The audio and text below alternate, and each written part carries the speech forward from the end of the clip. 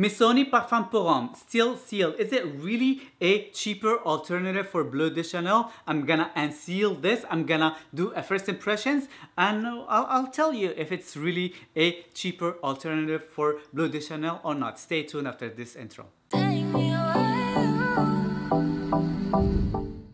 Going on guys and welcome again to another video. A lot of you guys told me that Missoni Parfum pour Homme is a cheaper alternative for Bleu de Chanel. So I got myself a bottle. I haven't really opened it yet. I'm just gonna unwrap it in front of you guys. I'm just gonna smell it for the first time in front of you guys and if it does smell like Bleu de Chanel and we'll see if it really is a copy of Bleu de Chanel or not okay so let's just put uh, Bleu de Chanel here for now and let's just unseal um, Missoni Parfum pour Homme. Um, I love unwrapping new fragrances for some reason. I just do love that way too much. Okay, and you can go away now. We don't need you no more.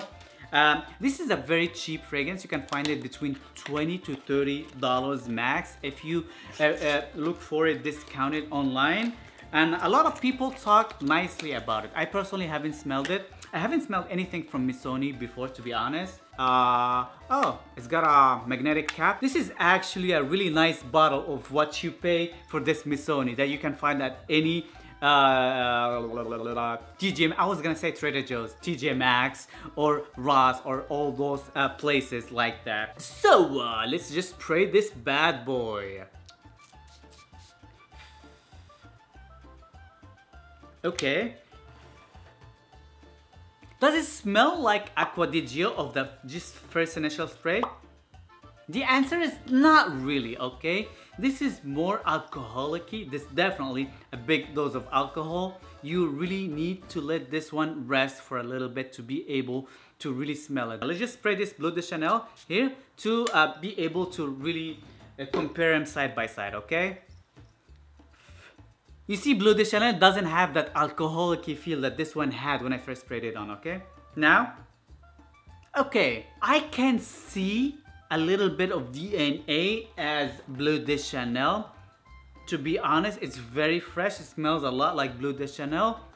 But it's not entirely like 100% Bleu de Chanel, okay? Bleu de Chanel is definitely a little bit sweeter and fresher opposed to this one that I felt like this one is like maybe denser than Bleu de Chanel and it gives somewhat of an old schoolish vibe. I'm not saying this is an old school scent, but it reminds me of some old school notes. Uh, maybe this one has got some oak moss or some herbal nuances, uh, which gives that old school herbal feel sometimes. But don't get me wrong guys, for 50 ml for $12 or so, this one is great for that and it seems like it's thick and it, it, it's strong. It's not like a faint, cheap type of a fresh scent. No, this one, it doesn't smell cheap. It doesn't smell cheap. It smells good, okay? It smells like your typical $100 type of a designer scent.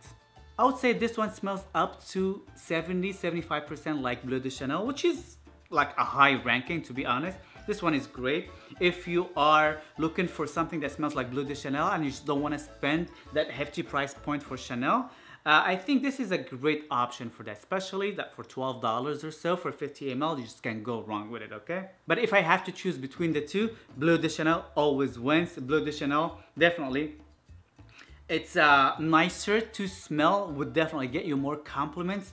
Bleu de Chanel, I just love that fruity uh, nuance that Bleu de Chanel has opposed to this one.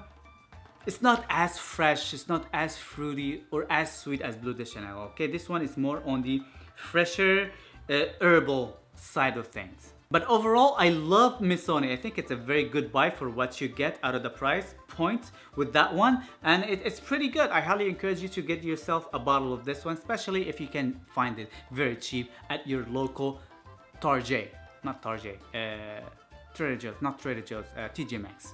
That's what I was trying to say. So this is pretty much it guys. Missoni Parfum pour Homme is pretty good one for what you get for the price and it smells a lot like Bleu de Chanel. And you guys were right and I'm really happy with that purchase that you guys recommended. Thank you so much and please let me know in the comment section down below what do you think of Missoni Parfum pour Homme? Have you ever tried it? Do you own it? Oh, How long does it last on your skin? Because I personally haven't tried it on my skin yet, so I don't know how long it lasts. If it lasts for, I'll, I would say like five, six hours, I'll be way more than happy for that. But it seems like it's pretty oily and it seems uh, strong. So I feel like it would give me that five six hours or so so i'm pretty happy with that so please let me know in the comment section down below what you think of that and don't forget to give me a like uh, subscribe and follow me follow me on my instagram. And this is pretty much it guys. I know sponge making smell good always easy peace